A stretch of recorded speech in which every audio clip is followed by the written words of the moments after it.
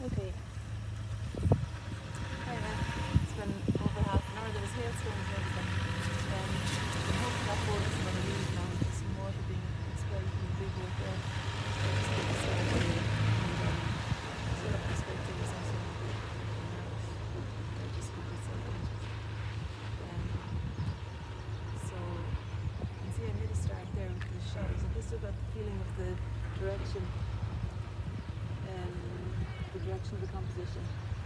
even though the sky is lovely.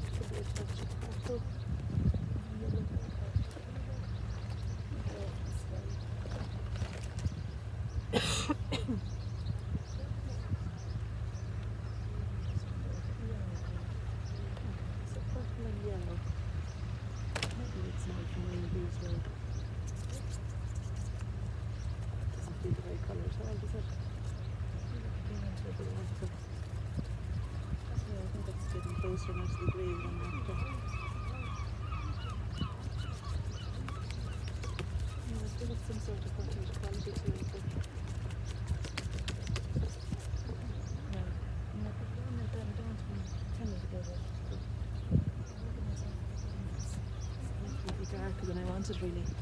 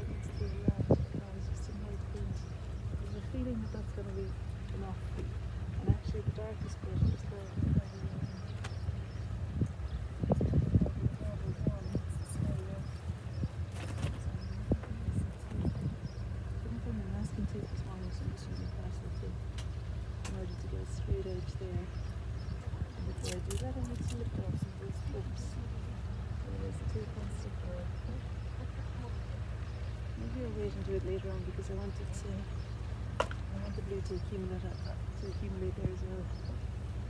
Do the blue to do it later on, take them in, and do it in a different way, not use the tape.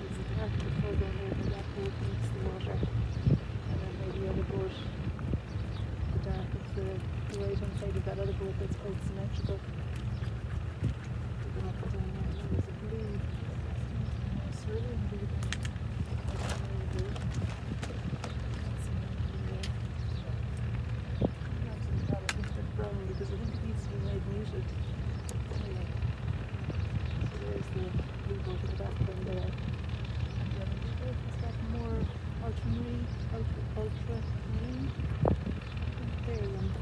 really amazing are all the time now in order that they don't get things too political. I'm just going to do that.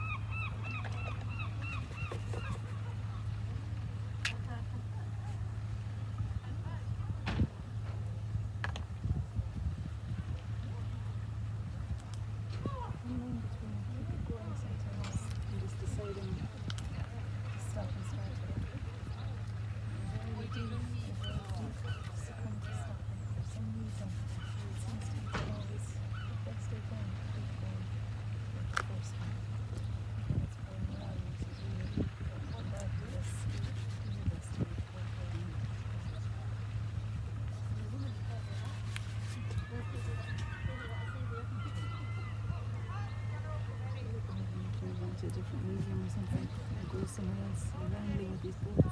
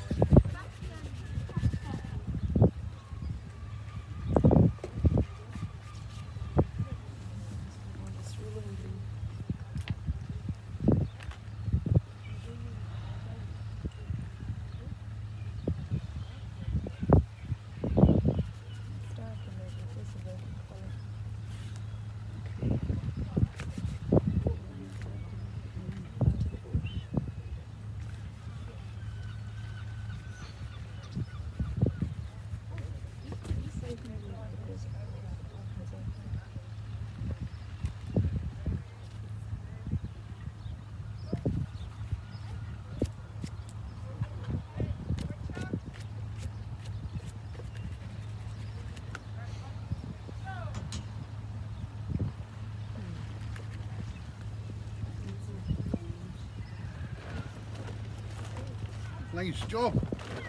Thank you. You paint all the time, eh? Um, pardon? You paint all the time, eh? Well, most days. Most days. That's nice, look. Thank you.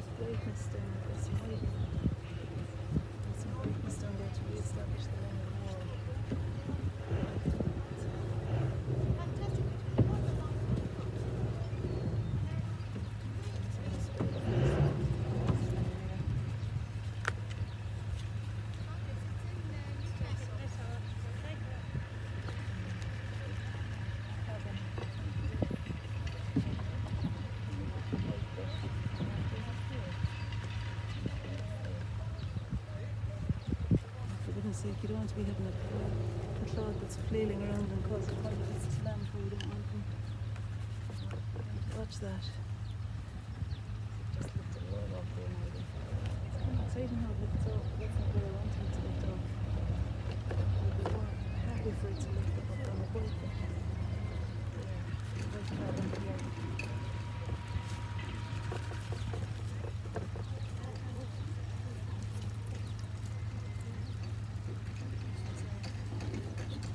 Maybe put in the microphone.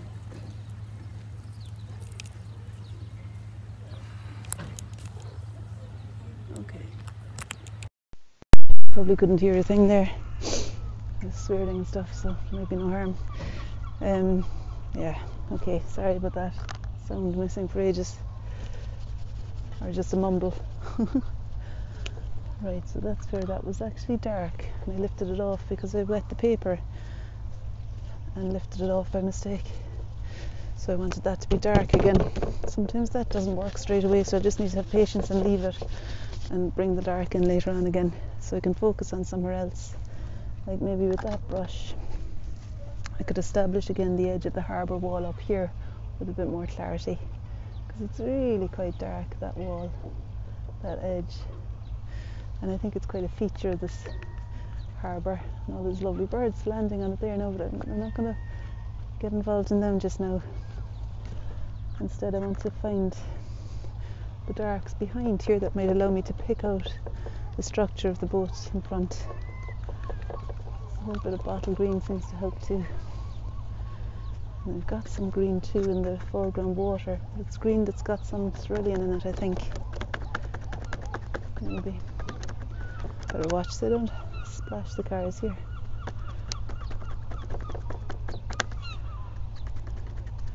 It's quite calm, despite being so wet earlier. It's actually quite a calm day, so that's good because the reflections will enhance the structure of the boats for me and give me a bit more of a clue.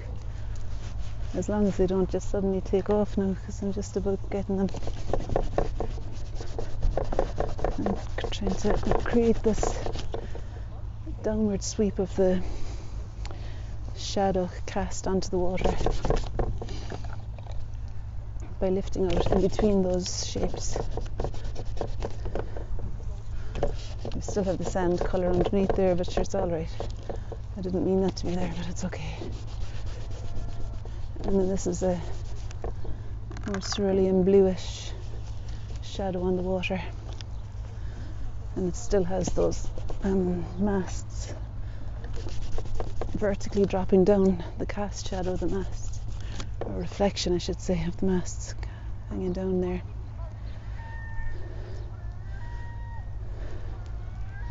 So what's happening here then is that there's a lovely light coming up in between those two boats there. That's still reflection. And then here, I'm going to just use the oil pastels because I'm driven daft trying to get dark enough on this paper with the trying to get dark enough on this paper with the acrylic. For some reason, it's just well, not for some reason, it's lifting off because the paper is too wet just now. And I want to get the dark I want to establish the dark brown blue of that boat. So I'm just literally going to use the brown and blue again. It's the brown oil pastel this time.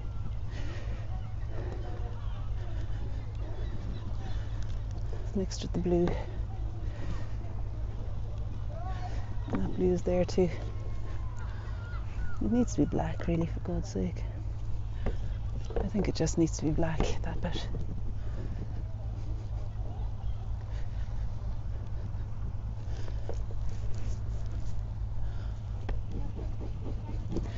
Okay, so flattening it as best I can and even bringing some of the black down into the shadow. So let's see. Do you know it's not black, it's green, is it? I don't know, it's a dark green, let's guess. Looks black there.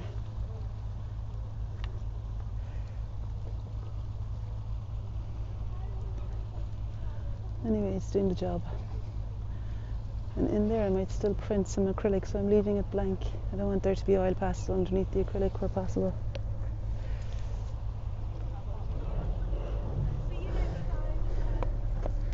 and then there's more cerulean blue so I'm using the different colour cerulean blue for that spot there hmm.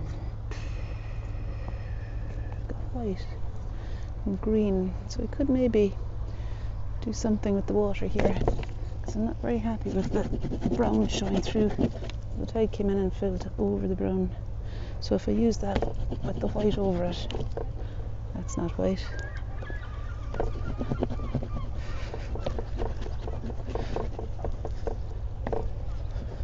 Maybe read as a reflection there.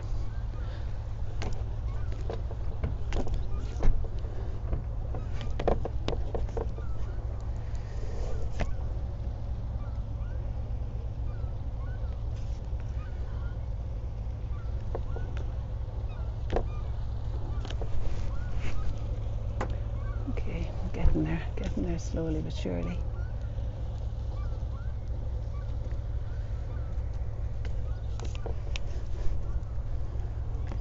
Hmm. So here, right, I'm going to use a slightly lighter colour.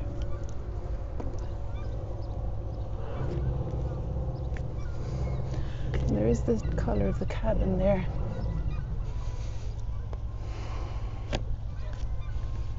You maybe notice the struggle. Like there's a real struggle. It's, it's kind of fun to stay with it, stay with it, stay with it best you can. Just keep open to what might let itself be seen. And try not to trip yourself up on your microphone lead. So down there now there needs to be a clarity at the edge. So I think it's white again. Here for this this there's a reflection here. Hmm. And it goes oh, goes around kind of but the shiniest bit is in the middle.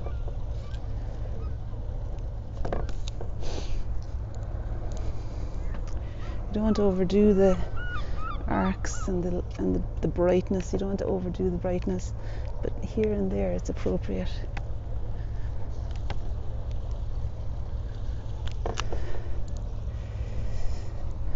No. There is this. I never thought of the collage option actually. Might have come in handy at some point here to to offer a to offer a bit of solace. Um, okay, so maybe the boy, the orange boy, might be helpful. And I've got the chalk pastels. Yeah, as I look at it from a distance, it's not quite enough, you see, not quite enough information. So I don't know if starting with the oil pastel is a step too early. Let's just see. I mean, the chalk pastel, that might be the final moves for me, you know, doing the chalk pastels. But maybe it'll help me. Some lovely colours in here, thanks Claire. Lovely colours that I can use to clarify bits and pieces.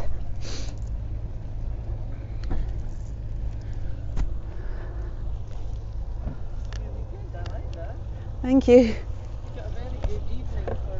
Well, I do. It was half an hour. I was half an hour in the car though. It was hailstoning for a while. But yeah, it's nice now.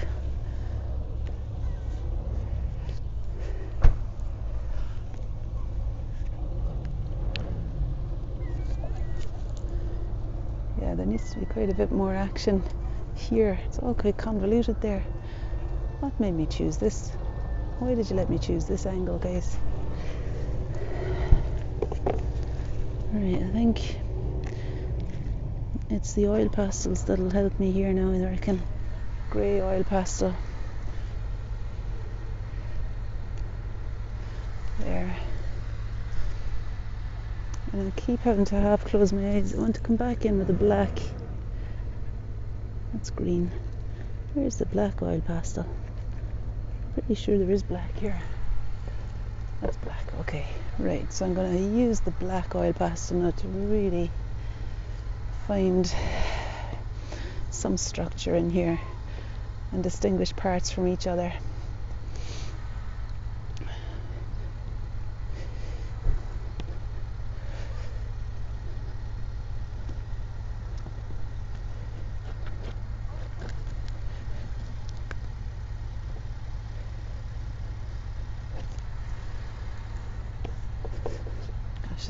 Dominant thing, isn't it, the oil pastel?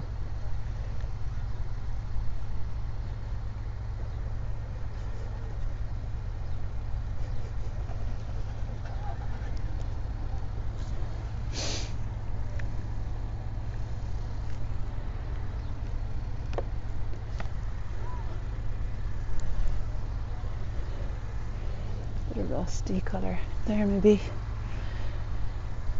Something rusty coloured here. Might not be a bad time to introduce some collage.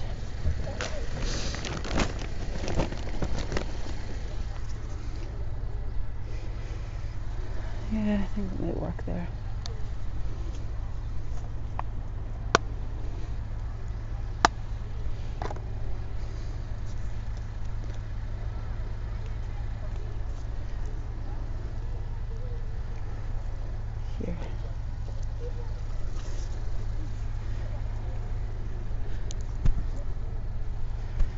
Don't really want the green. I don't think I need that anywhere.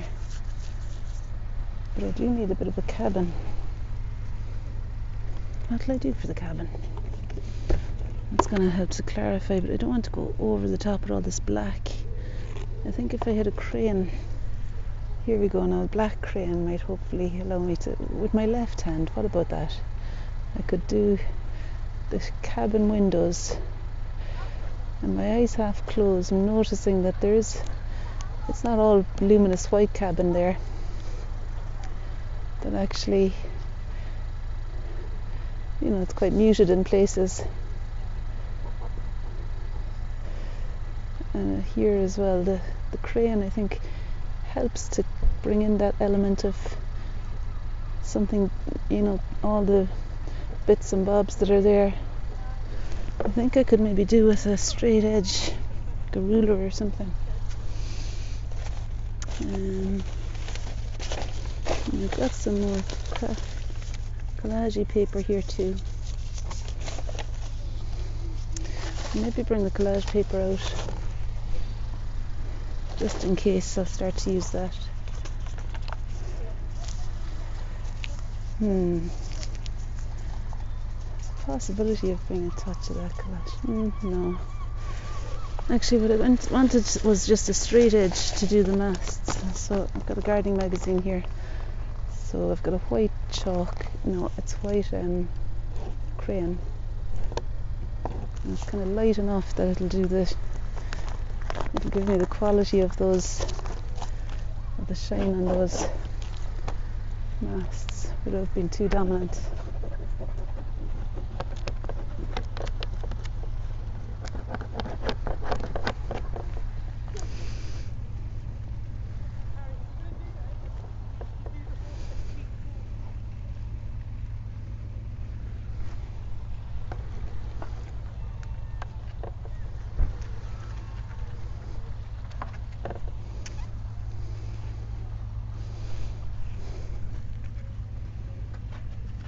Trying to find colours that might represent the water. This one here.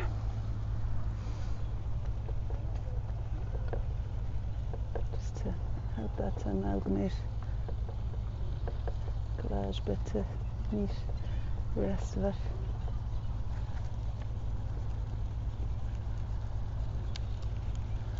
And then there's the line at the bottom of that boat. And there's a darker line below it.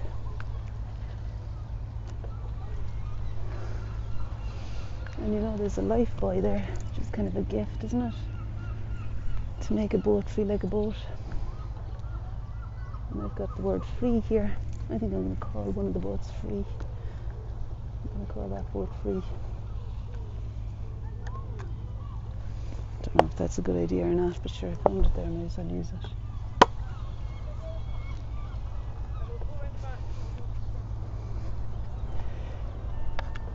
We got here now?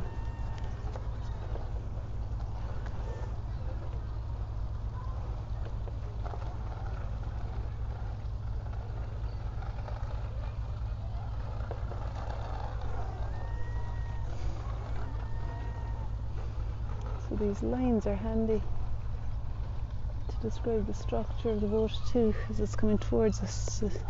Notice, noticing those lines is helpful and then losing and finding them again in places. I think does kind of help with the distressed feel of the whole area. You know to find and lose a texture. The water reflection. And then back here there's a colour that's not dissimilar to that. It's maybe needing to be a bit darker than that. On the top of the you know, the, where the wall of the harbour wall meets the flat surface. Comes down there and it gets a lot brighter as it comes down here. Might be more colour.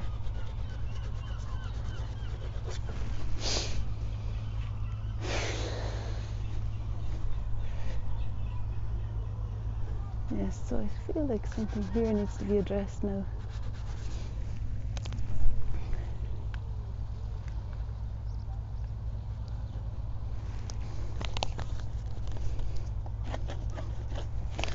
Often find that it really helps for these lines to be straight. It's one of the characteristics of the harbour, really, isn't it? That you've got straight edges. And some of those brights are really bright now. There's a really bright bit right here that I quite like. And then over here, the cabin is suddenly really shining out in the light on the side that is facing the sun, of course, the evening sun.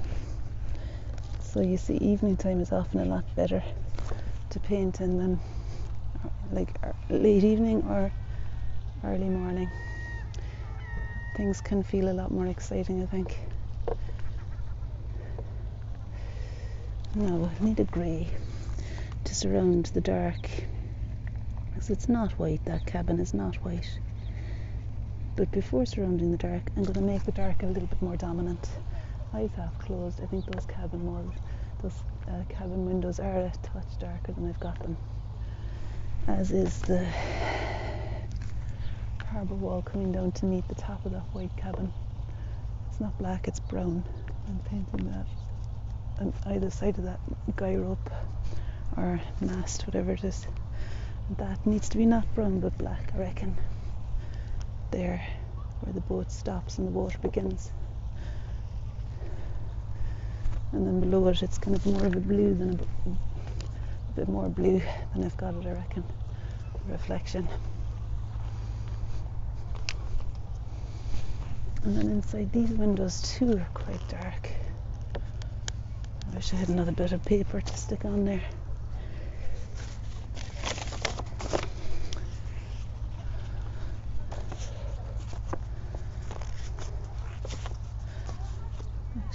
stick on this for the boy.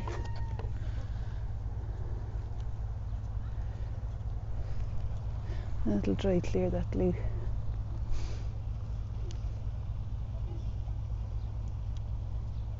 Now I want to put some paper on there and I think I will.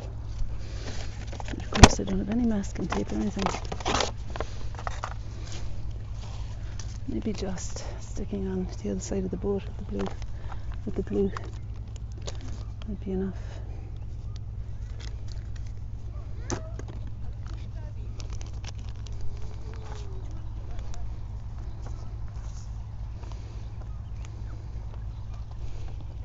Maybe.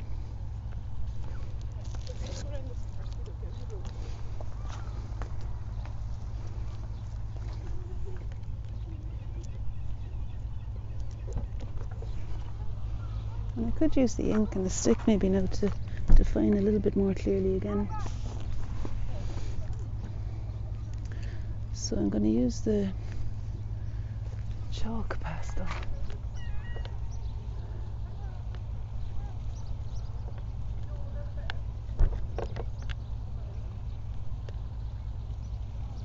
Hmm.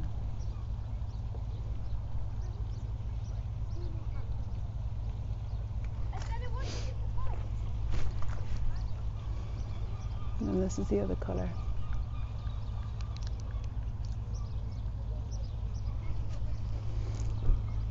Sorry, tweakers have been doing that all along.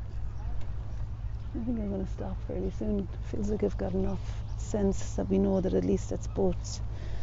But I do have um, the Indian ink and the dipper here. Do you know what I might do actually? Let's put that into the this I put the Indian ink into this. Although this is blue, let's see how this is. It's a nice blue ink in this. maybe it might be a better addition than black because there's quite a lot of black in this painting now. Gosh, I keep knocking you. Okay. So the blue little ink, it's acrylic ink from Lidl. I think it's causing there to be um, just something different coming in. It needs to be quite dark there though, so I will use the black Indian ink straight from the bottle here.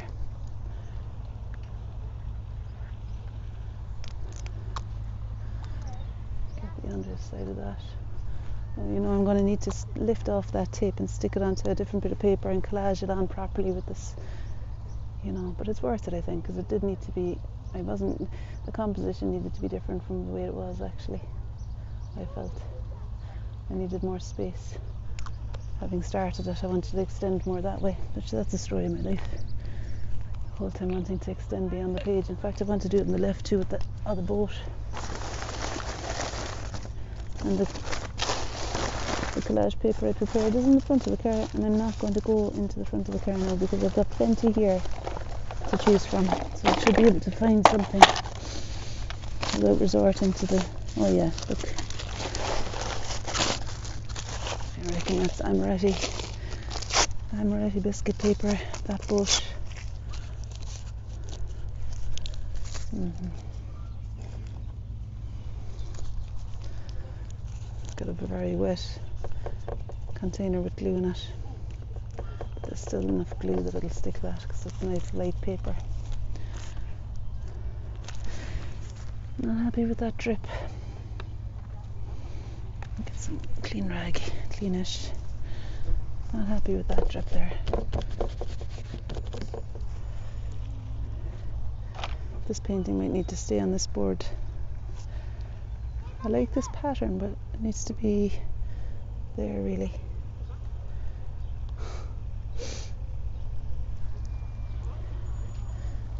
And that's mm, maybe somewhere here. In fact, I think it could be there to help explain where the bottom of the boat meets the water.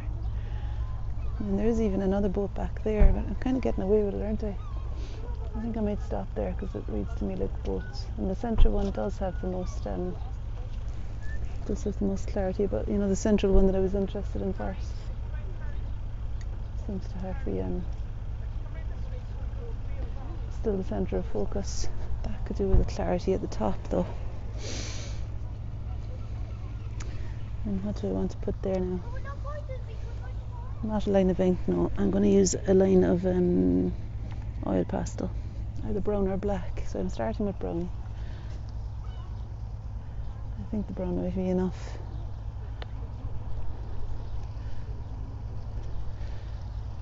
So do you see what I'm doing here now? I'm extending beyond onto the board, onto the actually onto the tape that's on the board, which mightn't be a bad thing. If I I could make that tape archive quality tape by putting some um, varnish seal over it.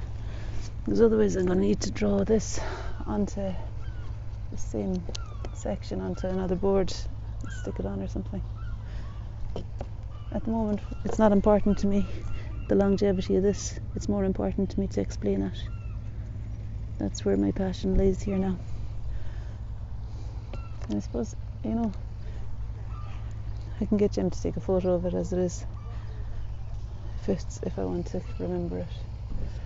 Now down there it's white where the cabin meets the So the um, the way to make this work for you if you've got an attitude like mine is to get a massive board and start on massive paper maybe.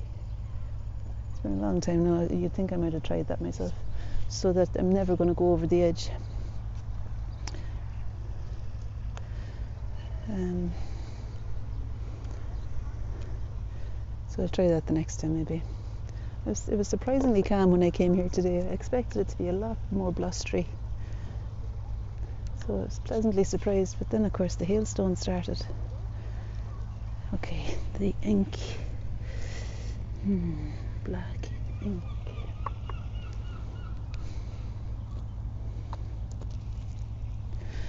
Black ink, and there's also the watered down sepia ink, which is exciting too. But the black ink, I want first to continue this this line here over the amaretti biscuit wrapper, so that reads as the same boat.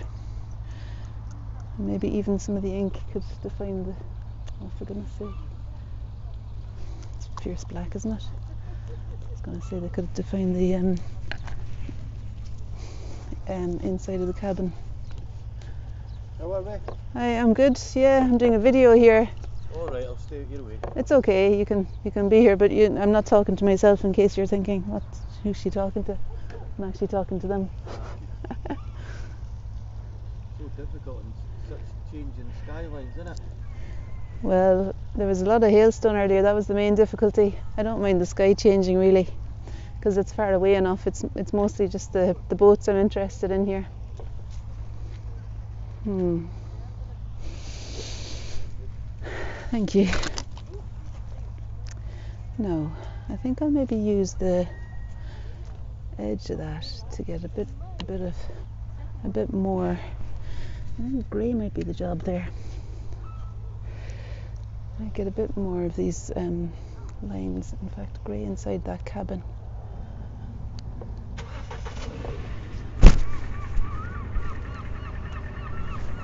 Might be going overboard now because it, it was all right, wasn't it? Just maybe a couple of more of these straight lines.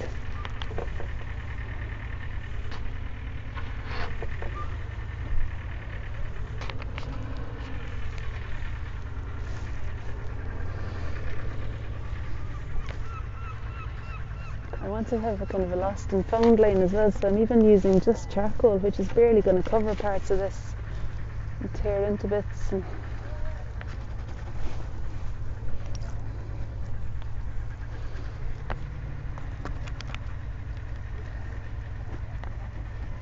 okay, it's quite dark there.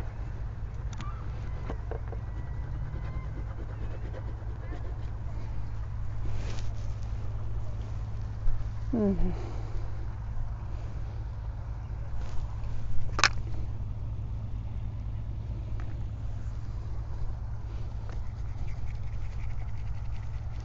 Quite interested in the edge of that shadow.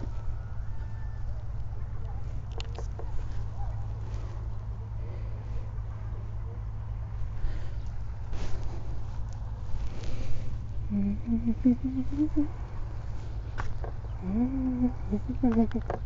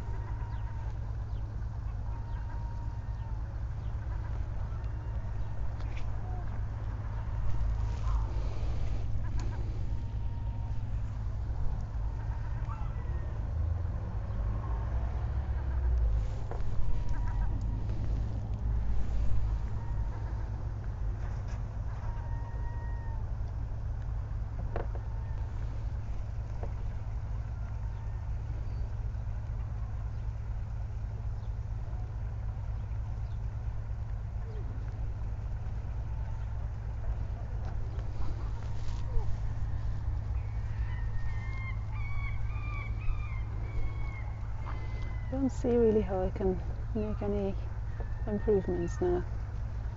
I think I'm just gonna be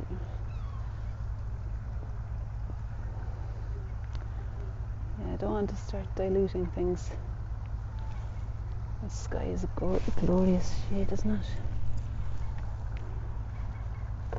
There'll even be a touch of that in that sky now.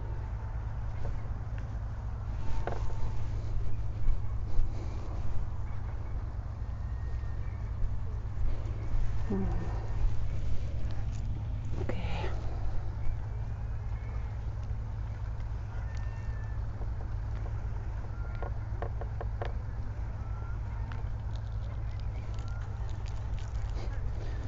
Soft pastel doesn't really work on this paper. I'm just crushing it in.